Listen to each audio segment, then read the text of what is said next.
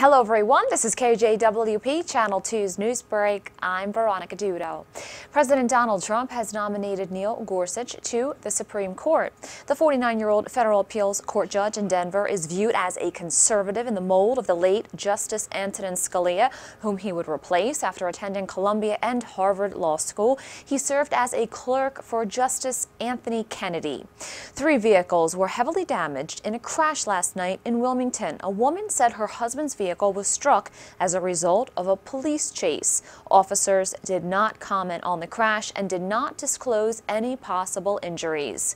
The Associated Press is reporting that police reports show the Allman Brothers drummer Butch Trucks killed himself in front of his wife. The 69-year-old shot himself in the head last month at his home. For more on these stories, visit DelawareOnline.com.